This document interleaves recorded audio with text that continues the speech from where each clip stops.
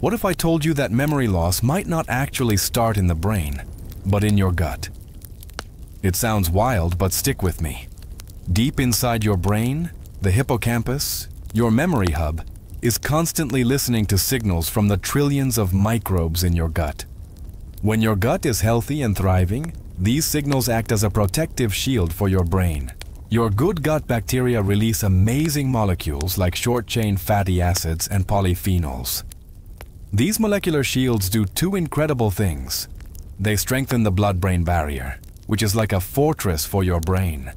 And they spark something called BDNF, which is basically a growth signal for your brain cells. But what happens when your gut falls into chaos? A porous, unhealthy gut wall allows toxins to slip through.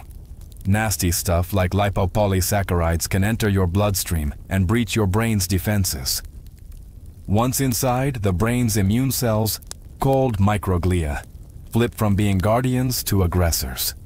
They ignite a wave of inflammation that clouds your memory and slows down your thinking. This neuroinflammatory fog essentially ages your hippocampus from the inside out.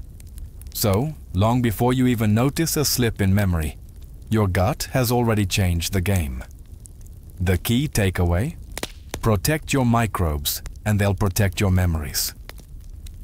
If you want more science to keep your brain sharp from the inside out, make sure to like, subscribe, and follow my channel for more.